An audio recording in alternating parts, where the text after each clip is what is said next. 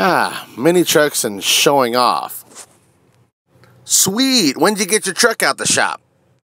Just got it, fresh out the shop. Nice, what all'd you get done to it? Custom interiors, shaved door handles, fresh paint, bagged and body with a reverse four link. A reverse four link? I haven't heard good things about those.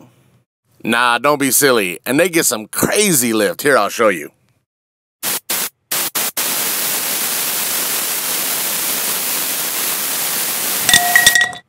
Um, was that supposed to happen? Yeah, it's happened every time so far. yes. Thank you for watching. Please subscribe, please rate, and please comment.